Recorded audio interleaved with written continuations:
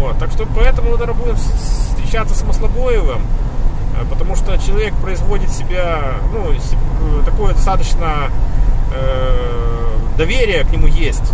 То есть э, ему говоришь, и он как-то принимает к сведению, начинает что-то делать. Вот. В отличие, допустим, от того же господина Брыша, который вот доверия вообще ни, никакого нету. То есть вот несколько случаев было, они вообще вопиющие, на мой взгляд. То есть, когда вот, допустим, мы посетили Маслобоева, объяснили ситуацию, что возле завода трава жухнет, э, насекомые умирают, воробей умер, надышавшись. Вот камеру было видно, что ничего там не было, просто летел, да и помер прямо на лету, вдохнул все это гадости. Вот.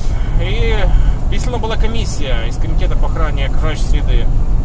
Э, комиссия имела лаборанты, чтобы взять отборы почв. И штатный эколог iPower подняла крик, что, дескать, какое имеете право завод запущен в эксплуатацию, какие-то замеры делать, я не допущу, кому вы верите, нам или каким-то там э, активистам непонятно каким. Ну, естественно, никто слушать не стал, люди делали свою работу. И она начала бегать по территории и звонить кому-то. Вот очень нервничала, звонила, звонила, звонила, много раз звонила, не могла дозвониться. В конце концов дозвонилась, говорила. И как вы думаете, вот кто через полчаса приехал на всех парах? Господин Брыш. Вот, вот мне интересно, вот как, какое кто, Бры, Вот для тех, кто ты же не только брычане смотрит, кто такой Брыш? Ты объясняй. Брыш это начальник э, комитета по охране окружающей среды районного значения. То есть непосредственно он, если Маслобоев областного значения, то Брыш районного. То есть фактически он курирует этот завод. Вот. Но по его, по его поведению, лично у меня такое впечатление, что он не то что курирует, он там работает. То есть, э, потом не то, что работает, он еще и адвокатом там заделался. Вот что только стоит вопиющий случай, что в субботу, в субботу, когда завод, ну, по всем параметрам работать был не должен, но тем не менее приехали, приехала полная смена, запустили полностью процесс. Но единственное, что не работали, плавка не работала, потому что компрессоры из цеха плавки не шумели, то есть видно, что не работает, но цех сушки работал, то есть дым шел. В связи с чем мы, конечно, тут же позвонили э, в охрану окружающей среды и позвонили в милицию. Милиция приехала раньше.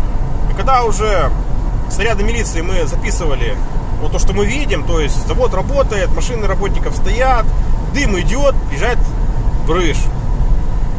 Бежит на завод, что-то там делает, потом приходит, говорит, ничего не работает. Мы говорим, так вот же, дым идет. Он посмотрел, нет, говорит, дым не идет. Ну все, дальше уже что-то... Но если вот дым идет, мы видим, милиционеры видят, а брыш не видит, как-то странно он смотрит на мир. Вот, вот, вот то есть интересно, это что такое вообще было? То есть мы слепые, что ли, все? То есть нас двое, я и Дмитрий Бикалюк. Мы смотрим, вот две трубы, вторая, пятая, как сейчас помню, дымят. То есть дым конкретно виден. Белесоватый, сероватый дым. И милиционер видел дым. Милиционеры видят. У них тут два человека сидит, водитель и участковый. Они меня опрашивают, они дым видят. То есть вот, да, видим, видим дым, все нормально видно. Спутать с облаками ну никак нельзя, потому что день достаточно был безоблачный. А брыж в упор не видит. Ну вот все. Может не хочет видеть? Ну, тут интересный вопрос, потому что этот же вопрос я ему задал, когда а, откачивали щелочь. Э, он спросил прямо, что мы ему не верим. Я бы сказал, да, я лично вам не верю. И напомню этот случай, когда мы видим, милиционеры видят, а господин Брыш не видит. Ну вот, просто реакция была такая, что Брыш от нас просто убежал.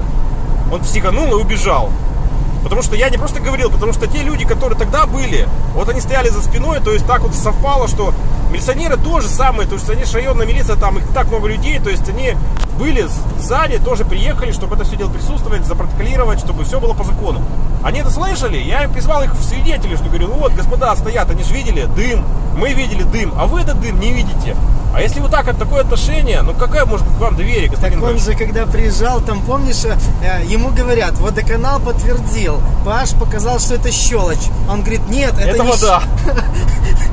И в, акте, и в акте запишем, что вода. Полтора куба воды. Это, говорится, как старый анекдот.